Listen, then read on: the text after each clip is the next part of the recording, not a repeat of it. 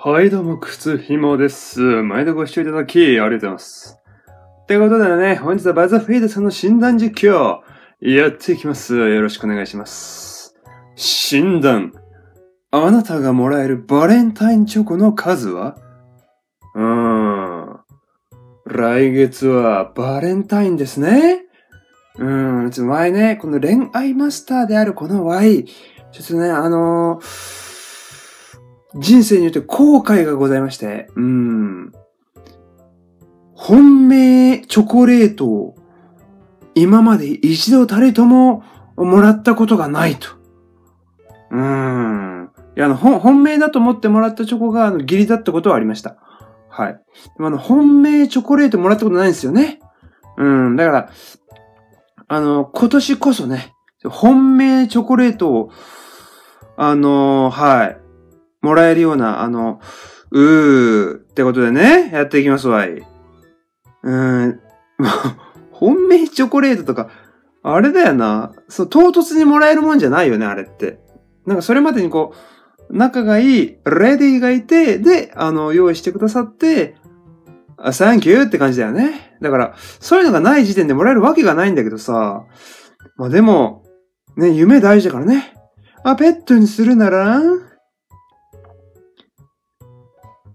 いや、なんかこの、う、うさぎっぽいアニマルの悲壮感やばくないかどうしたんだ？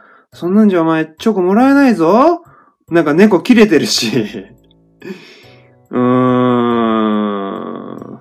ハムスターとこれもうジャガイモじゃん、これ。うーん。元気出せ、マジで。まあでも、わい、うさちゃん、うさちゃん派なんでな。うさぎにしますわい。ふー。あら。おいっと。どのタイプが好き？おー。まあ、左から2番目だよね。あのー左から2番目以外の、うん、レディはね、あの、Y が好きか以前どうか以前に、多分 Y のことを好きじゃないと思うんだよね。うん。やっぱりこう、ね？うん。やっぱ似た者同士惹かれるっていうのがあると思うんですけども、こう、左のね、レディのような、こう、ちょ、ボーイッシュなね、うん、この素敵なレディは多分、ワイのようなね、あの、うーん、男をね、多分蹴ってくると思うんだよな。うん。で、この、ロ、ロン毛のレディもなんかちょっと、強そうな感じでな。うん。一人厚着だな。あとこう、右の、な、なんだ？この、うーん、まあ似たようなね、サブカル系っていうのかな？わかんないけど、そういう感じだね。ワイ、ワイは、あのー、まあ、まあ、じゃあ、左から2番目のこの、ライデーはワイのことを好いてくれるのかって、それもないんですけども、まあ、残りの3名様は、多分仲良くしてくださらないと思うんだよな。うーん。あ、やっぱりサブカル系女子であってんだな。あの、例えば、クールな女子、スポーティーな女子って言うんだな。まあ、ゆるふわウェーブの、あ、甘めな女子。何が甘いのか知らんけど、これにしますわ。あ、どのタイプが好き？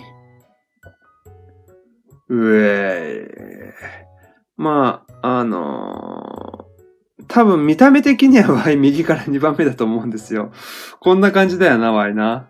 うん。でも、憧れるのはやっぱり一番左のムキムキな感じかな？いいよね。やっぱ強そうな感じでいいよね。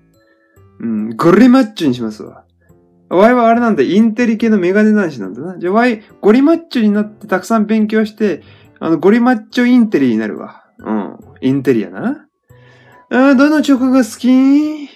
めっちゃ喜んでんじゃないかよ。俺こんな経験ないっすわ。ああ、本命チョコが欲しい。おー、生チョコってそんなに摂取する機会ないっすよね。だから生チョコにしますわ。ツバがやばいわ。ツバが。今年のチョコは12個ですギリ7、本命3とモテまくり。それでも飽き足らず自分で2個買うことになる。なんだよ、これ。何のためにだよ。